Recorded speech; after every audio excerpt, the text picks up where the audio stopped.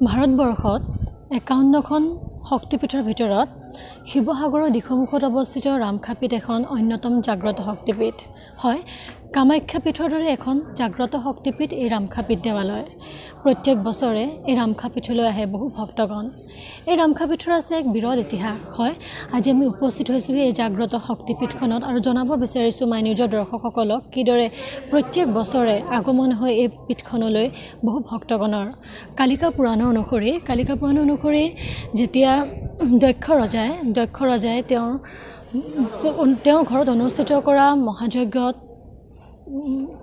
ভোলানাথ শিৱ আৰু পাৰ্বতী অনিমন্ত্ৰিতভাৱে উপস্থিত হৈছিলেহি আৰু তেতিয়াই তেতিয়া সেই অমন্ত্ৰিত অনিমন্ত্ৰিতভাৱে উপস্থিত হোৱাৰ পিছত ভোলানাথ শিৱক নানা তিৰস্কাৰ কৰে দক্ষ ৰজাই আৰু সেই তিৰস্কাৰ সেই নিন্দা সহ্য কৰিব নোৱাৰি সতীয়ে সেই যজ্ঞতে আত্মজা দিয়ে আৰু সেই ঘটনাটোত ক্ৰোধান্বিত হৈ ভোলানাথ শিৱই ভোলানাথ শিৱই সতীক পৃথিৱীক দৰ্শন কৰিবৰ কাৰণে কান্ধত তুলি গোটেই পৃথিৱী দৰ্শন কৰিবলৈ বিচাৰিছিল আৰু সেই ক্ষেত্ৰতে সেই সতীৰ বক্ষযুগল আহি এই দিশমুখত আহি পৰিছিলে। আৰু তেতিয়াৰ পৰাই প্ৰত্যেক বছৰে এই ৰামখাপীঠ দেৱালয়ত পূজা অৰ্চনা কৰি অহা হৈছে। আজি দেখুৱাব বিচাৰিছোঁ এখন জাগ্ৰত শক্তিপীঠ ৰামখাপীঠ দেৱালয়। প্ৰত্যেক বছৰ আগমন হয় বহু ভক্তগণৰ।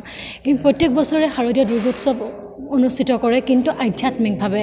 আধ্যাত্মিকভাৱে অতি কোনো জাক জমকতা নোহোৱাকৈ এই ৰামকাপীঠ দেৱালয়ত পূজা অৰ্চনা কৰি অহা হৈছে। আজি আমি সেই মাই নিউজৰ দৰ্শকসকলক দেখাইছোঁ কিদৰে এখন জাগ্ৰত শক্তিপীঠ এই ৰামখাপীঠ দেৱালয় কামাখ্যা পীঠৰ দৰেই এখন জাগ্ৰত শক্তিপীঠ এইখন দেৱালয় স্থানীয় ৰাইজে স্থানীয় ৰাইজে অতি ভক্তিভাৱে অতি ভক্তিভাৱে এই পূজা অৰ্চনা কৰি আহিছে। নিজৰ আজি দেখুৱাব বিচাৰিছোঁ কিদৰে কিন্তু যিহেতু এবাৰ ক'ভিড মহামাৰী গোটেই সন্ত্ৰাসৰ সৃষ্টি কৰিছে গোটেই বিশ্বক স্থবিৰ কৰি তুলিছে কৰোণা মহামাৰীয়ে সেইবাবে কিন্তু কোনো জাক জমকতা নোহোৱাকৈ অনুষ্ঠিত কৰিবলৈ ওলাইছে এই ৰামখাপীঠতো। কিন্তু প্ৰত্যেক বছৰ জনাব বিচাৰিছোঁ যে কিন্তু প্ৰত্যেক বছৰ কিন্তু আধ্যাত্মিকভাৱেহে অনুষ্ঠিত কৰি অহা হয় এই ৰামখাপীঠ দেৱালয়ত পূজা অৰ্চনা আজি আমি তেওঁলোক বহুত বিষয়ববীয়া আছে আজি এই দেৱালয়ৰ। আমি তেওঁলোকৰ সৈতে কথা পাতিম কিদৰে প্ৰস্তুতি চলাইছে এগৰাকী বাইদেউ আছে মোৰ সৈতে।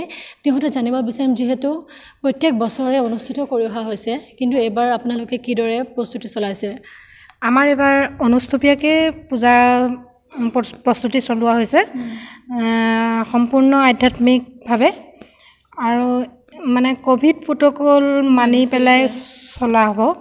আৰু এইবাৰ মানে বিশেষ উৎসাহ উদ্দীপনা নাই। যিহেতু এক ঐতিহ্য আছে ৰামখাপীঠ দেৱালয়ৰ পুনৰ কৈছোঁ যে কামাখ্যা পীঠৰ দৰে এখন জাগ্ৰত শক্তিপীঠ। আমি জানিব বিচাৰিম এগৰাকী বিষয়া আছে আমাৰ লগত বিষয়ববী আছে। ইয়াৰ ঐতিহ্য কি কি বুলি ক'ব বিচাৰে আপুনি? এই ৰামখাপীঠৰ যিটো ঐতিহ্যতা। ৰামখাপীঠৰ ঐতিহ্যটো একচুৱেলি ইয়াৰ কোনো এই পীঠখন কেতিয়া প্ৰতিষ্ঠা হৈছিলে সেইটো কোনো নিশ্চয়তা নাই। কিন্তু মোটামুটি এটা কথা আমি জানো যে স্বৰ্গদেউ আমাৰ লক্ষীসিংহই অঁ আপোনাৰ এইটো এখন পুনৰ প্ৰতিষ্ঠা কৰিছিলে। আজি এই এই পুনৰ প্ৰতিষ্ঠা কৰাও আজি আপোনাৰ সোতৰশ কিমান সোতৰশ ঊনসত্তৰ চনতে এখন পুনৰ প্ৰতিষ্ঠা কৰিছিলে।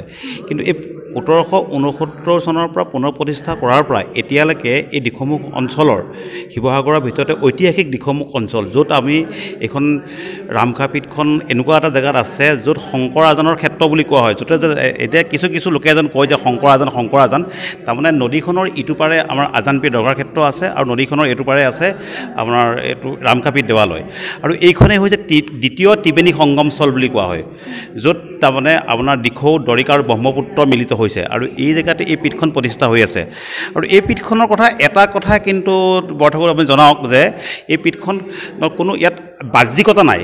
কোনো ইয়াত বাহ্যিকতা নাই ইয়াত কম কমপ্লিট তাত্বিকতাৰে আধ্যাত্মিক চিন্তনেৰে কমপ্লিট তাত্বিকতাৰে এই পীঠখন আমাৰ ইয়াত এইটো পূজা অৰ্চনা হয় আৰু ভক্তসকল আহে ইয়াত কণ্টিনিউৱাছ কণ্টিনিউৱাছ তাৰমানে আপোনাৰ তিনিশ পঁয়ষষ্ঠি দিনাই ইয়াত কণ্টিনিউৱাছ পূজা হৈ থাকে। আৰু ইয়াত এটা বস্তুৱে ইয়াত প্ৰব্লেম হৈছে হৈছে যে যিটো আমাৰ আমাৰ যোগাযোগ ক্ষেত্ৰত বিশেষত ৰাস্তা পদূলিবিলাক উন্নত নহয় আৰু এটা কমপ্লিট ফ্লাড ফ্লাড এফেক্টেড এৰিয়াত পীঠখন প্ৰতিষ্ঠিত আৰু এইখন কেইবাবাৰো ইয়াত এইটো পুনৰ প্ৰতিষ্ঠা কৰা হৈছে। বানপানীটো এতিয়া অলপ আগতেতো আপোনাৰ এইটো তিনিবাৰ এইটো ডুব গৈছে।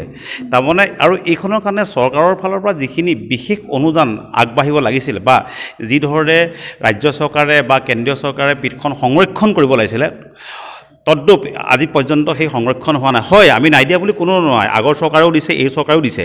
কিছু কিছু সাহাৰ্য আগবঢ়াই আছে।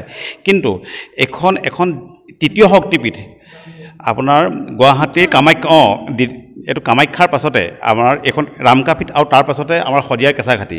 কিন্তু ৰা- আজি হেৰিয়াত এইটো বুলি কয় কামাখ্যাত যিটো ধৰক গতি আছে একে শক্তি একে পূজা একে ধাৰণা একে আধ্যাত্মিক চিন্তন কিন্তু ইয়াত সেই প্ৰতিফলিত হোৱা নাই। যিহেতু তাৰমানে ইয়াত আমাৰ সম্পূৰ্ণ অমনোযোগিতা চৰকাৰৰ সম্পূৰ্ণ অমনোযোগিতা।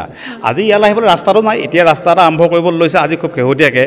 আজি এইফালে যোগাযোগখিনি ব্যৱস্থা নাই আৰু ভক্তগণ আহিবলৈ বিশেষত আজিকালি প্ৰত্যেক ঘৰতে দুখন চাৰিখনকৈ গাড়ী আছে গাড়ী লৈ আহে গাড়ীখন আহিব পাৰ্কিং ব্যৱস্থা নাই এটা জিৰণি ঘৰ নাই।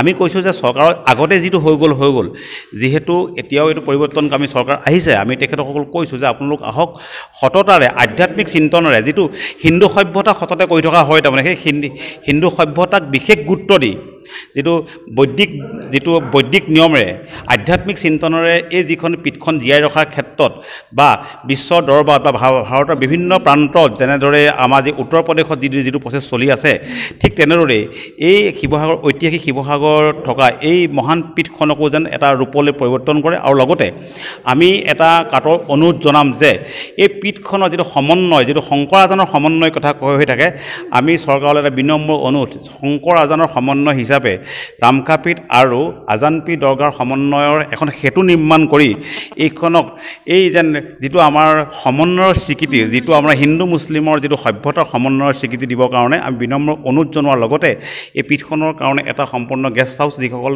টুৰিষ্ট আহে। আৰু বিশেষত এই পীঠখনক লগত লৈ কিন্তু বৰঠাকুৰ এটাও ক'ব পাৰে যে এইটো এটা টুৰিজিম ছেক্টৰ ইয়াত যিহেতু দিখৌ দৰিকা আমাৰ ব্ৰহ্মপুত্ৰ ত্ৰিবেণী সংগম এটা সুন্দৰ এটা পৰিৱেশ আছে। এই পৰিৱেশত চৰকাৰে যদি কিছু গুৰুত্ব দিয়ে এইখন এখন টুৰিজিম অঁ পৰ্যটকৰ এটা অন্যতম ক্ষেত্ৰ হিচাপে স্বীকৃতি দিব পাৰে। হয়। কেইবাটাও গুৰুত্বপূৰ্ণ কথা তেখেতে কৈছে। যিহেতু পৰ্যটকৰ আকৰ্ষণীয় কেন্দ্ৰস্থল হ'ব পাৰে এই ৰামকাভিত দেৱালয়। মই আপোনাৰ পৰা জানিব বিচাৰিম যিহেতু এই পূজাৰ বিশেষত্ব কি? ইয়াত যিহেতু আমি শুনিব পাৰিছোঁ প্ৰত্যেক প্ৰত্যেক দিনাই সপ্তমীৰ পৰা নৱমীলৈকে প্ৰত্যেক দিনাই বলি বিধান হয় যিহেতু কিছু কিছু ক্ষেত্ৰত অষ্টমীত বা নৱমীত এনেকৈ হোৱা কথা আছে গতিকে ইয়াৰ বিশেষত্ব কি? পূজাৰ বিশেষত্বটো কি? ইয়াৰ পূজাৰ বিশেষত্বটো হৈছে ইতিমধ্যে কোৱা হৈছে যে এই পীঠখন অতি পুৰণি পীঠ শক্তিপীঠ এখন কামাখ্যাৰ সম লগতে একেলগে প্ৰতিষ্ঠা হোৱা। পূৰ্বতে যিসকল চুতীয়া বৰাহী কছাৰী ৰজাসকলে পীঠখন প্ৰতিপালিত কৰিছিল তেওঁলোকে পূজা অৰ্চনা কৰি আহিছিল। তাৰ পৰৱৰ্তী সময়ত আহোম স্বৰ্গদেউসকল যেতিয়া অসমলৈ আহিছিল তেতিয়াও চুকাফাই আহি ইয়াত পীঠত পূজা দিছিলে। তেওঁৰ পুতেক চুতেওফাই ইয়াত পূজা পাৰ্বণ দিছিলে মাটি বাৰী ধন সোণ ইয়াত দান কৰিছিলে। তাৰপাছতো লক্ষী সিংহই পুনৰ প্ৰতিষ্ঠা কৰিলে। সেই সময়লৈকে ৰাজকীয় পদমৰ্যাদাৰে পীঠখন পৰিচালিত হৈ আছিলে। কিন্তু পৰৱৰ্তী সময়ত যেতিয়া পীঠখন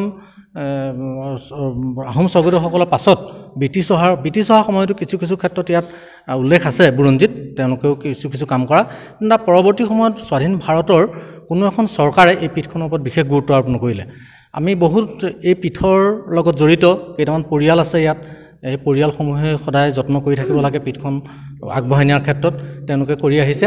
আৰু তাৰ পাছত কি হৈছে যে ইয়াত সেই যি অতীজৰ যি পূজা পাৰ্বণ সেই পূজা পাৰ্বণৰ প্ৰক্ৰিয়াটোকে এই পৰৱৰ্তী সময়ত যে স্বাধীন ভাৰ- ভাৰত স্বাধীন হোৱাৰ পাছতো আমাৰ যিকেইটা পৰিয়ালক ইয়াত সংস্থাপিত কৰিছিলে আহোম স্বৰ্গদেউসকলে সেই পৰিয়ালকেইটাই সেই ৰাজকীয় যিখিনি নিয়ম পালন কৰি আহিছে আৰু লগতে সম্পূৰ্ণ বৈদিক প্ৰথাৰে বৈদিক কোনো ইয়াত মেলাৰ ব্যৱস্থা নাই ইয়াত কোনো ৰাজকীয় তেনেকুৱা জাক জমকতা নাই সম্পূৰ্ণ বৈদিক প্ৰথাৰে ইয়াত পূজা হয়।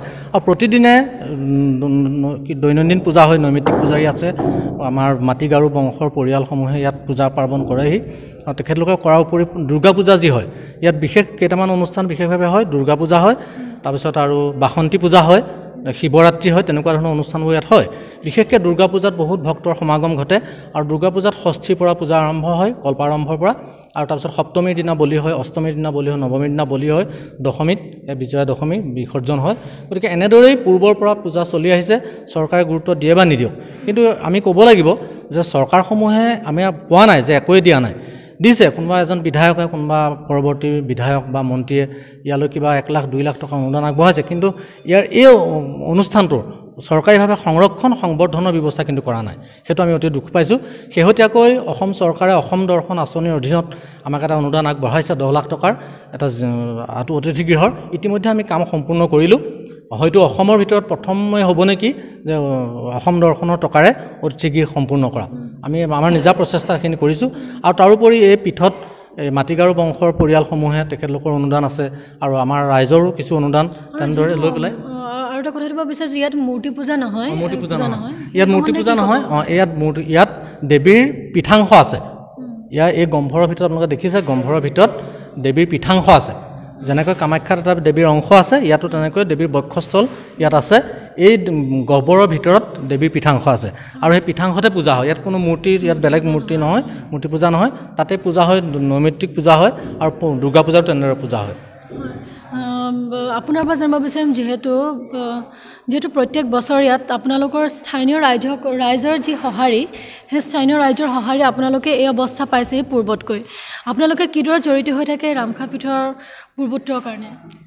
আমি এইটো এটা কাৰণ আমাৰ উপৰি পুৰুষসকলে যিভাগে আমাক এটা ধাৰা দি থৈ গৈছে সেই ধাৰাতে ইয়াত আমি আমাৰ প্ৰথম অৱস্থাত আমাৰ নামঘৰৰ সৈতে সংলগ্ন হৈ আছিলে।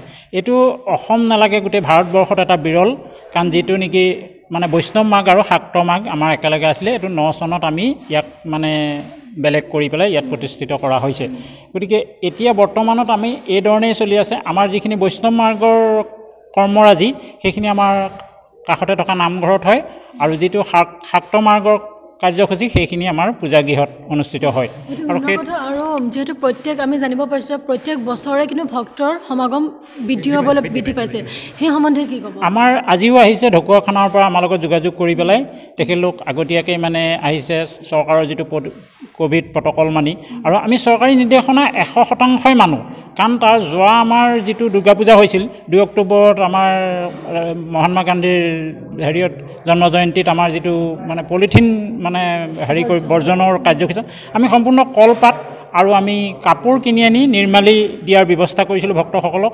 আৰু ঢকুৱাখানা ধেমাজি লখিমপুৰ চিলাপথাৰ জোনাই আপোনাৰ বনৰীয়া চাপৰি এইপিনে মাজুলী হালধিবাৰী এইখিনি গোটেইখিনি যিখিনি জনজাতীয় মানুহ আছে তেখেতলোকে ইয়ালৈ তেওঁলোকৰ মনৰ যিটো কামনা দেৱীৰ ওচৰত সেৱা ধৰিবলৈ আহে আৰু দেৱীৰ পৰা তেখেতলোকে সেইটো এটা তেখেতলোকৰ কামনা পূৰ্ণ হয় গতিকে তেখেতলোকে আজি একাধিক কামত তেখেতলোক আহি আছে। আজিও আমাৰ ভক্ত সিপাৰৰ পৰা আহিছে ঢকুৱাখানাৰ পৰা। তেখেতলোকে এয়া দেৱীৰ ওচৰত সেৱা পূজা আগবঢ়াইছে আৰু সেইধৰণেই কৰি গৈ আছে। হয়। সঁচাকৈ অতি আধ্যাত্মিক পৰিৱেশ এই দিশসমূহৰ ৰামকাপীঠ দেৱালয় প্ৰত্যেক বছৰে ভক্তৰ সমাগম বৃদ্ধি হ'বলৈ ধৰিছে। এই ৰামখা পীঠলৈ এখন জাগ্ৰত শক্তিপীঠ কামাখ্যা পীঠৰ সমান্তৰালকৈ এইখন পীঠলৈ প্ৰত্যেক বছৰ আহে ভক্তৰ সমাগম। যিহেতু ইয়াত মূৰ্তি পূজা নহয় লক্ষ্মী সিংহই তেখেতে যেতিয়া ফুৰিবলৈ গৈছিলে দিখৌ নদীত পুৱা এচটা শিলৰ শিলকে পূজা অৰ্চনা কৰি আহিছে প্ৰত্যেক বছৰে।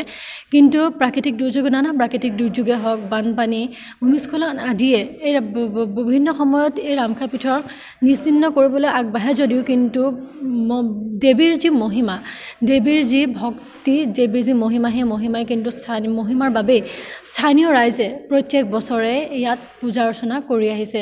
কিন্তু কোনো প্ৰাকৃতিক দুৰ্যোগেও কিন্তু কৰিব- নিশেষ কৰিব পৰা নাই এই ৰামখা পীঠক হয় যিহেতু পৰ্যটকৰ যথেষ্ট সম্ভাৱনা আছে। আঠশ বছৰীয়া পুৰণি এই ৰামখা পীঠৰ অজস্ৰ সম্ভাৱনা আছে পৰ্যটনৰ কেন্দ্ৰ হিচাপে গঢ়ি তোলা। এফালে যিহেতু তেওঁলোকে কৈছে এফালে আজানপীৰ দৰগাহ আৰু এইফালে ৰামখাপীঠ দেৱালয়। হয় যিহেতু যদি চৰকাৰে অলপ হ'লেও যদি চকু দিয়ে এই ৰামখা পীঠক হয় প্ৰত্যেক বছৰে এই এই আৰু পূৰ্বতকৈও আৰু অধিক আগমন ঘটিব ভক্তৰ সমাগম এই ৰামখা পীঠলৈ আৰু পৰ্যটন ক্ষেত্ৰ হিচাপে এখন অন্যতম পৰ্যটকৰ কেন্দ্ৰবিন্দু হিচাপে ৰামখা পীঠ হৈ পৰিব।